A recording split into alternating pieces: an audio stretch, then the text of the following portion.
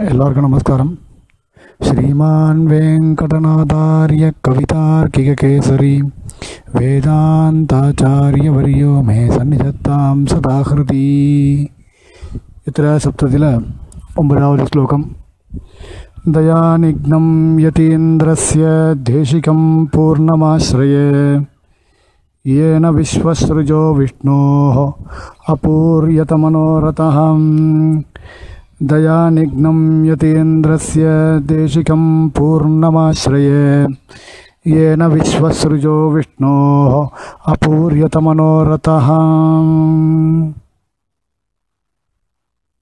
येन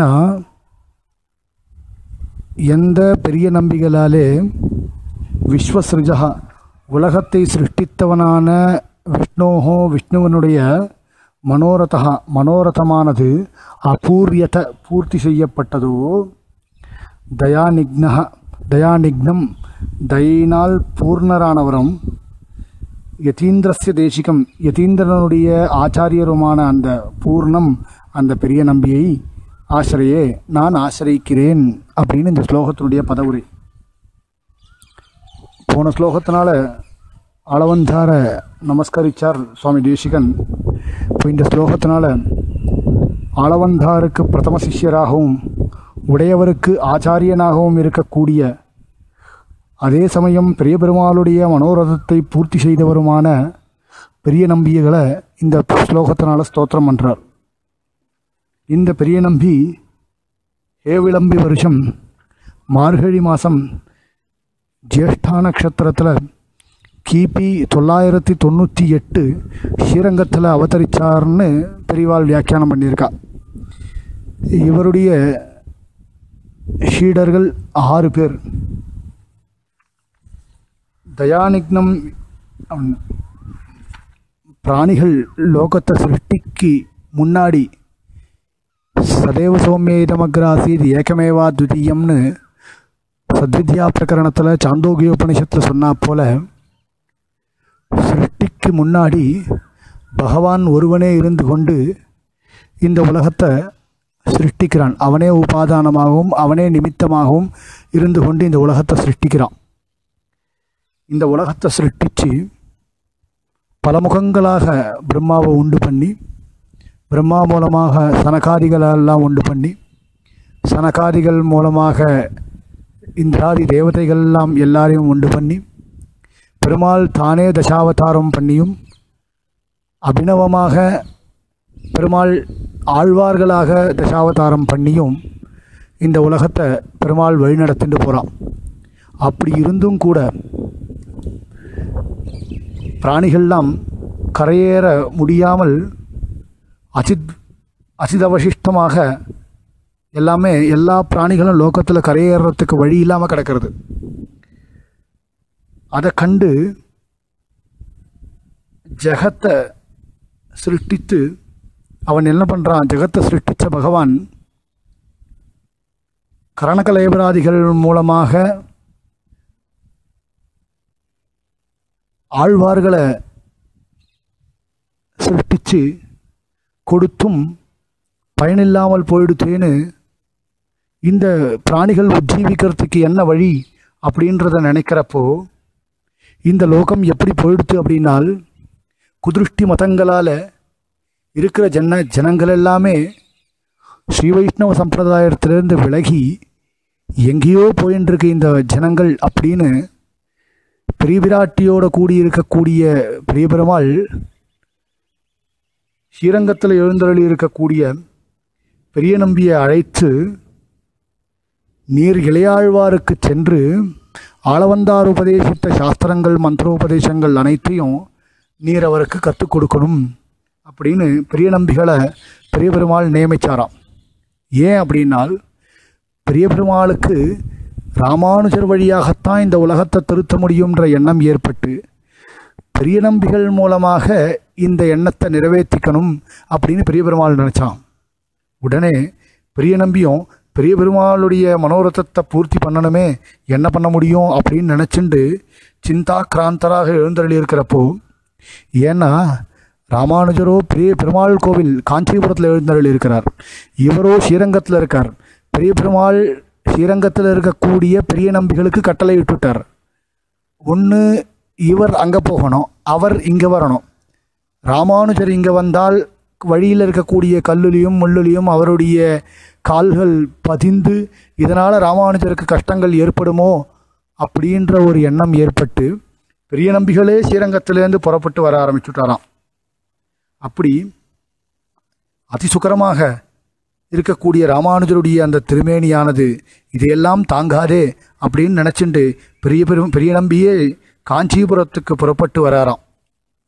வரும் வழியில் அதே போல் எப்படி பெரிய நம்பிகள் புறப்பட்டு வராரோ அதே மாதிரி இங்கே காஞ்சிபுரத்தில் திருக்கச்சி நம்பி மூலமாக வரதராஜன் சொன்ன வார்த்தை சாட்சாத் தேவப்பெருமாள் சொன்ன வார்த்தை ராமா ஆறு கட்டளையில் கடைசியாக மகாபூர்ணம் ஆச்சரேத் பெரிய நம்பிகளை நீ ஆச்ச ஆசிரியிக்க வேண்டும் அப்படின்னு சொன்னதுனால ராமானுஜரும் பெரிய நம்பிகளை பார்க்கறதுக்காக ஸ்ரீரங்க ஸ்ரீரங்கத்துக்கு புறப்பட்டு வர சமயத்தில் ரெண்டு பேரும் மத்தியில் மதுராந்தகத்தில் சந்திச்சுக்கிறா. மதுராந்தகத்தில் சந்திச்சுண்டு மதுராந்தகத்தில் இன்னிக்கும் அதனால தான் மதுராந்தகத்துக்கு துவயம் விளைந்த திருப்பதின்னு ஒரு திருநாமம் இருக்குது அங்கே துவயோபதேசம் பெரிய நம்பிகளுக்கு சமாச்சரணம் ராமானுஜருக்கு பெரிய நம்பிகள் சமாச்சரணம் பண்ணி வச்சு பெரிய நம்பிகள் அவருக்கு துவயத்தினுடைய அர்த்தத்தை உபதேசம் பண்ணுறார் எல்லா இடங்கள்லையும் சந்நியாச திருக்கோலத்தோடு இருக்கக்கூடிய இந்த இளையாழ்வார் மதுராந்தகத்தில் மட்டும் கிரகஸ்தாசிரமத கோலத்தில் இன்றைக்கும் எழுந்தருளி இருக்கிறார். இது மதுராந்தகத்துக்கு இருக்கக்கூடிய ஒரு பெருமையான விஷயம். அப்படி ராமானுஜருக்கு இவர் உபதேசங்கள் எல்லாத்தையுமே இந்த பெரிய நம்பி பண்ணி வைக்கிறார். தேசிகன் இந்த விஷயத்தை ஏன விஸ்வசுருஜோ விஷ்ணோகம் பெரிய நம்பிகளால் ரங்கநாதனுடைய மனோரதம் பூர்த்தியாச்சான் ரங்கநாதனுடைய மனோரதம் என்னது? ராமானுஜருக்கு ராமானுஜருக்கு சாஸ்திரார்த்தங்களை சொல்லி வச்சு இந்த உலகத்தை ராமானுஜர் மூலமாக திருத்தணும் அப்படின்றது ரங்கநாதனுடைய மனோரதம். இவருக்கு என்ன? ஏன விஸ்வசுருஜோ விஷ்ணோகம் தயானிக்னம் இவர் தயாபூர்ணர். எப்படி தயாபூர்ணர்? ரங்கநாதனுடைய மனோரதத்தை பூர்த்தி பண்ணி வச்சவர். இல்லையா? ராமானுஜர் மூலமாக ரங்கநாதனுக்கு என்ன தய? இந்த உலகமெல்லாம் உஜ்ஜீவிக்கணும் அப்படின்றது ரங்கநாதனுடைய தய. ரங்கநாதனுடைய தய யாரால் பூர்த்தியாச்சு? பெரிய நம்பிகளால் பூர்த்தியாச்சு. பெரிய நம்பிகள் யார் மூலமாக இந்த உலகத்தை உஜ்ஜீவிக்க பண்ணார்? ராமானுஜர் மூலமாக உஜ்ஜீவிக்க பண்ணார். ஆக இந்த தயாநிக்னம் இந்த தயாபூர்ணரான அதுவும் எப்படி? பெரிய நம்பியை ஆசிரயித்து இந்த தயாபூர்ணராக இருக்கக்கூடிய அதாவது பெருமாளுடைய மனோரத்தத்தை பூர்த்தி பண்ணி பெரிய நம்பி பூர்த்தி பண்ணின பெரிய நம்பி தயாபூர்ணர். அப்படி தயாபூர் தயா தயையினால் பூர்ணரானவரும் இப்படி பெருமாளுடைய மனோரத்தத்தையும் பூர்த்தி பண்ணி வச்சார். நம்ம எல்லாரையும் உஜ்ஜீவிக்க பண்ணார். ஆகையினால நம்மளையும் வழிக்கு கொண்டு வந்தார். பெருமாளுடைய மனோரத்தத்தையும் பூர்த்தி பண்ணார். ஆகையினால இந்த மகாபூர்ணரானவர் யதீந்திரஸ்ய தேசிகம் சாதாரணவர் இல்லை யதீந்திரனுக்கே தேசிகம் தயா பூர்ணம் யதீந்திரஸ்ய தேசிகம் பூர்ணம்